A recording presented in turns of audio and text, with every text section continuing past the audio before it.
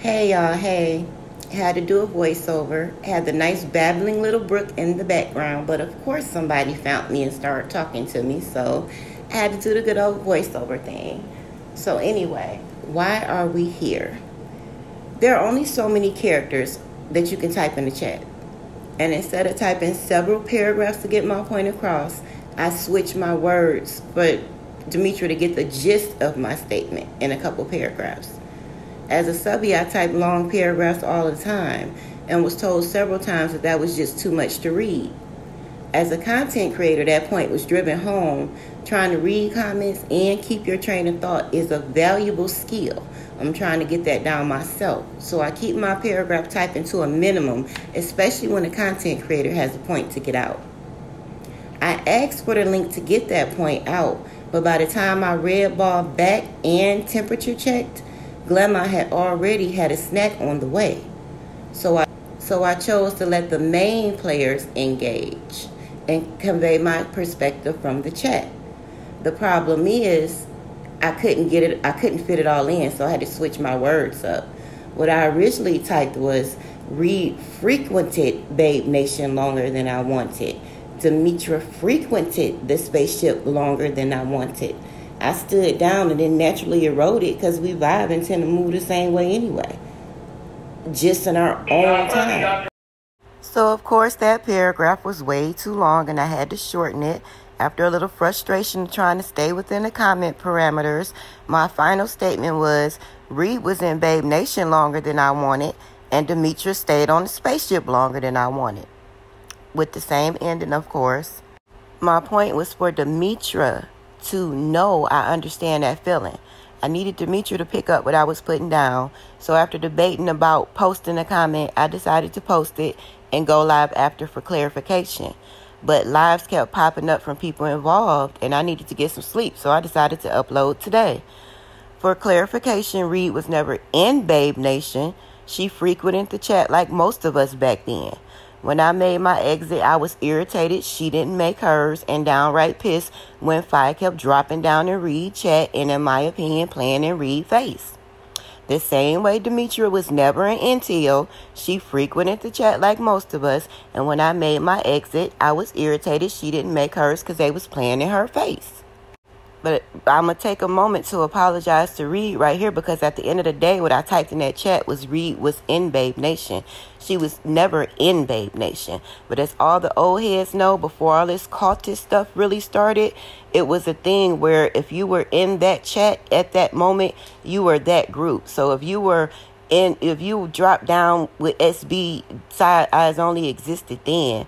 If you were uh, dropping down in Fi Chat, Babe Nation, it was Babe Nation. If you were dropping down in past the chat, you was a ride or live. So, you know what I'm saying? Those who know, know. The over explaining, I, I got to cut that out. But like I said, Reed, I do apologize because at the end of the day, when I look what I type, I did type Reed was in Babe Nation and that could be taken just like that. And that's not what I was trying to convey. But like I said, my point was for Demetra um, Demetra knows she stands alone, and I was counting on her to draw the parallel in what I was saying. I didn't want to leave her out in the water like none of her folks understood why she was spazzing. I understood. I just know it's greater later when the split happens naturally. When fight offended Reed to the level that Reed snapped, that snap was real. It was thorough, and it was to the dirt. When Pizza and them offended Demetra to the level that Demetra snapped, we here now, and it's given thorough, real, into the dirt. Nothing can compare to real disdain, disgust, or even downright hate. There's an old saying that those who don't hear must feel. Once you feel that yourself, there's usually no going back. So you got to allow others to feel it so it's real to them. That's usually how it gets to the dirt. It's hard to see the situation from the inside, but being on the outside, especially with the gift, gift of hindsight, that's priceless. Can y'all imagine me trying to tell Reed what the fuck to do? How would that have worked out for me? What about Demetra? Could y'all imagine me telling Demetra to stay away from those bitches because they was playing in her face? I can answer for y'all. both them motherfuckers would have snapped on me. I could have been a catalyst for Reed and Fi to be cooled in the motherfucker right now by simply trying to pull them apart. I would have been commentary for both and devoured by the sector. Same with Demetria Pizarro and Bree.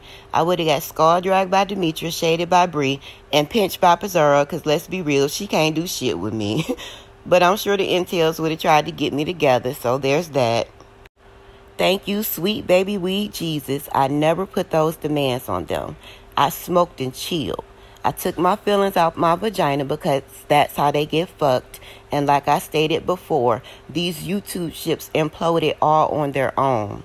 There's a reason some of us have been cool for years. Some of us speak the same language. Some of us vibe the same way. Some of us are tribe and always end up in the same social media circles with no effort because that's who we are as individuals. No cults or cliques needed. Now, with all that being said, I have sat in a snack's position before, appearing to over explain my stance to a bitch who meant me no good and didn't like me anyway. My good sis, dear self, came up and gathered me. I got down because I knew she was right about that point, and I, I didn't need to satisfy my need to be heard right then, but it came back up later. I needed to be heard, I needed to get my point across. So, sure as shit, I ended up on another panel over explaining myself again. I didn't care about the optics. I needed to get out what I needed to get out so I could let it go. It wasn't for Pizarro. It wasn't to repair anything. I was shaking the dust off my feet because I didn't plan on coming back. That season was over.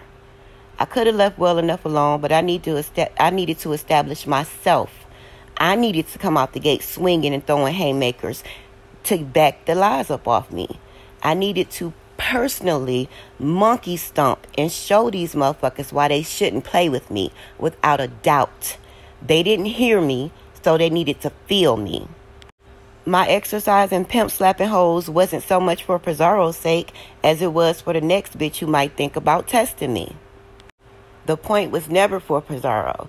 Did y'all notice in all that thing when they were when uh, the groups and the masses were attacking everybody else in this situation? They would always be like, "Well, not you, Blaze, not you, Blaze. Your situation different. Your situation different." Because I drove it home. I smashed the nail through the coffin. I would not let it go until the point was made that I didn't trip on that bitch. That bitch tripped on me and disrespected something I do not eat. I get up from the motherfucking table. Capiche? Luckily for me, I just happened to be in a time and space where I could open my platform and talk my shit. I was interested in being a content creator anyway, so why not talk my shit on my platform? Snack hasn't popped her platform yet, so Lady Nika is one of the go-to spots that lets her subbies politic and squash shit at times. Whatever way Snack was taking it, I'm not a hundred percent, but it looks to me like she was working her she was working her way to the dirt and forever in my Cardi voice with the crusty eye bitch. So I get why she was up there. She already chose her destination and was following MapQuest, but a friend had a shortcut, blew up her minivan, and kidnapped her in a Camaro. the destination was reached, but now a crusty eye bitch pushing a narrative that a snack can't drive. False flagging folks. Snack can drive, and after they rob a bank or two, her friend is going to get her a new minivan. There's nothing to see here. Y'all really need to move the fuck along because uh y'all may or may not get jumped listening to that crusty eyed little girl. This ain't that. This is not I want my subbies to do it. You can't move this way, you can't move that way. That was an emotional moment with a bitch talking to her friend and that's between them. They're going to end up working that out. Of course, it's commentary. Everything is fucking t- commentary over here. But I just don't want y'all to fall in that trap. Don't think this is that because this is not that. The motherfuckers who've been rocking with her for a while, they will tell y'all without a doubt she will trip, but she will make it right. I've seen it personally myself. Demetria is one of the people who I've never seen, like, I don't see everything, but I've never seen an instance where she didn't self reflect and course correct. That's just what I see. Uh, we talk about what we see around here. So that's what I see. That's why I never left, never gave up, never anything. She get the tripping uh, when she used to cuss the whole chat out. I would take my ball and take my ass home, come back to the park and play ball with the bitch tomorrow. Shit, that just is what that is.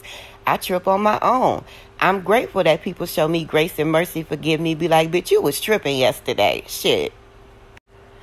Friends fight, family fight, people get emotional, people have that time of the month, people are stressed, whatever the case may be, people go through shit. And I appreciate somebody who's real, comes out with it, says, and does it. But like I said, I learn daily, and I did learn that that shit worked it out itself for the most part. I'm sure it's still a little, you know, little nips and tucks they need to do to get stuff together, but for the most part, it worked out, and I didn't even need to make the statement. I didn't need to even need to type the statement to put my little two in because it was gonna work itself out. But that's what I do when I care about people in relationships and what it is. And if I can relate, if I feel like you dangling out there and everybody else is saying, hey, damn, how could you feel like this? And I know I've definitely felt that way before. I'm usually going to say something. So I just have to learn how, learn more how to fall back and let things happen. If I'm needed, I'm needed. If I'm not, I'm not. And in that instance, I wasn't needed. And I kind of, you know what I'm saying, almost sacrificed, you know, a little of Reed integrity to defend Demetra. That's just the way I'm taking it. I'm not trying to put anything between Reed, Demetra, none of that. Y'all know I love both them bitches. That just is what it is. They probably catfighting right now still. Cause y'all know I've been working my ass off lately. But I don't give a fuck about none of that shit. I love both them bitches. And shit, they just, they are different sides of the same coin to me them bitches will fight any fucking body. like, that's what's up. I love a fighting, scrapping ass bitch.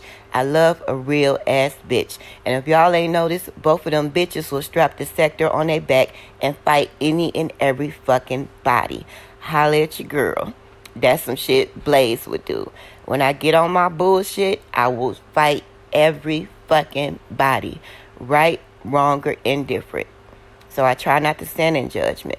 I try to throw in my little, oh, I can relate. Oh, I've been through that. Oh, I can this. Like I said, y'all know I got a little bit of narcissism, so I, I, I find a way that most things relate to me. That's something I'm working on. If you love me, you fuck with me, you know that, you understand, you're going to bear with me. Bye.